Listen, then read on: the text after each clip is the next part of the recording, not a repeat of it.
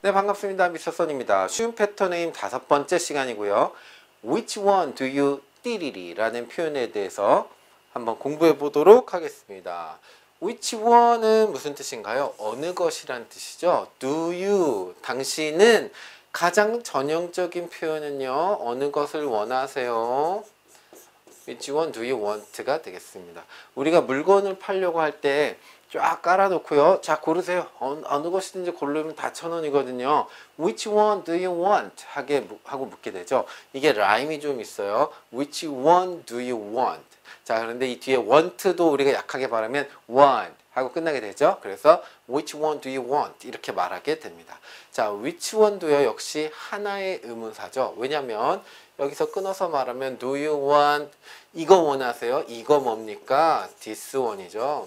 이거 굉장히 중요한 표현이에요. this one, this one, that one 이렇게 이거 원하세요? 아니에요. 그러면 do you want that one?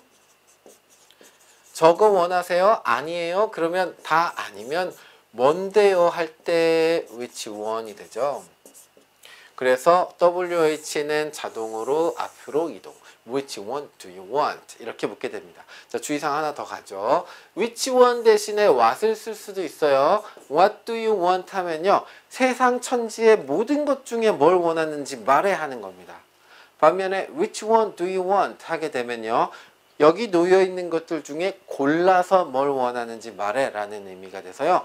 둘 사이에 약간 차이가 있죠. 주의하셨으면 좋겠습니다.